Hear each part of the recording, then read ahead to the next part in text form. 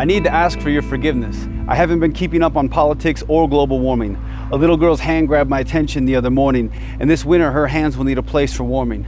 Sometimes some headlines just take up too much space, sometimes pushing some people to the land of out of sight, out of mind, even in my own state. Not in my city though, right? I wondered this winter, where would she fold her tiny hands from the cold? Now I lay me down to sleep. Where do homeless families find rest in our city and bring their children to eat? Cars were made for driving in. Would we be able to say not in my city if I told you there are cars people are living in? To my mom's disapproval when I was a kid, I used to do my homework in front of the TV. Another little boy does his homework on the floorboards of a Chevy circa 1993.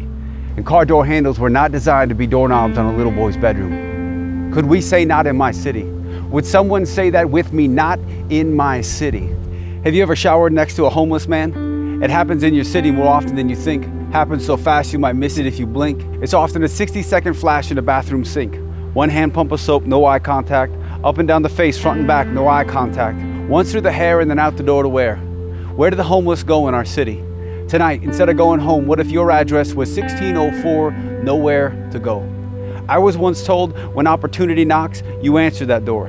And there will be times where people will need your knuckles to knock for them, to be that opportunity. An opportunity to shower in a shower, an opportunity of shelter from the cold concrete street, an opportunity that when bellies were hungry, we gave them something warm to eat, gave little heads and shaky hands an opportunity of peace and a warm place to sleep. Turn away enough times, we will always be faced with it again.